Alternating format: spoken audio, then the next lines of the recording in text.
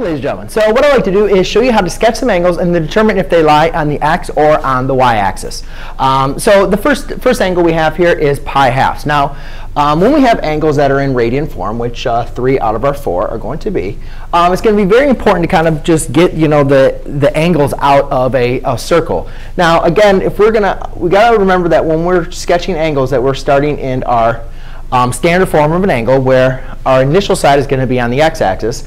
And when we travel counterclockwise, that's going to be in the positive direction. And counterclockwise will be in the negative direction. Um, remember that halfway around the circle has a distance of pi. And all the way around the circle would be a distance of 2 pi. Now this one says we want to travel as a distance of pi half. That means half a pi. Well, instead of going halfway, all the halfway around the circle, we're even going to go half of that. So the angle would just be from, from there to there. So therefore, we can see that our angle is, the terminal side of our angle is going to lie on the y-axis. And again, I, that's supposed to be a plus. Again, I traveled um, counterclockwise because that's the positive direction, and my angle is positive. Here, an example, I have pi. So again, well, this one's a little bit more obvious because we already know that pi is halfway around a circle. Um, and again, this is positive pi, so it doesn't really matter if it's positive or negative. But again, we always want to start at our initial side and go over halfway around the circle because that is our distance in radians of pi. And therefore, you can see that my um, terminal side of my angle, remember you have your initial, initial side and then your terminal side, that is going to end up on the x-axis.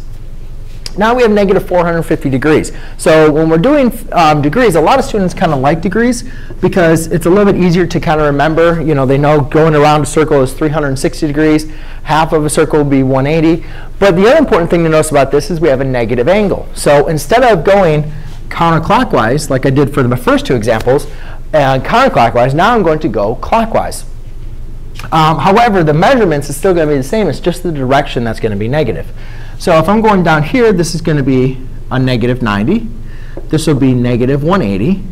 Over here would be negative 270. And then going all the way around the circle in the clockwise direction would be negative 360. However, you can see that I need to get to negative 450. So I need to go an extra 90 down, which would be negative 450. So my angle, again, is going to start here. It's going to go all the way around and then come back to here. And that would be my angle. And you can see that the angle, where here would be your initial side, and here would be my terminal side, ends again on the y-axis. All right, and lastly, we have negative 3 pi.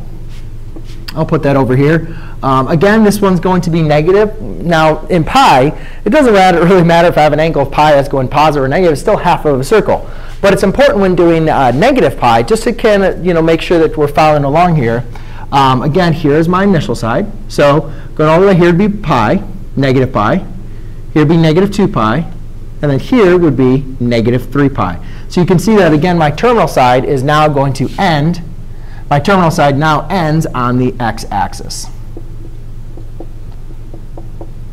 And there you go, ladies and gentlemen. That is how to determine how to uh, sketch your angle to determine which axis it lies on. Thanks.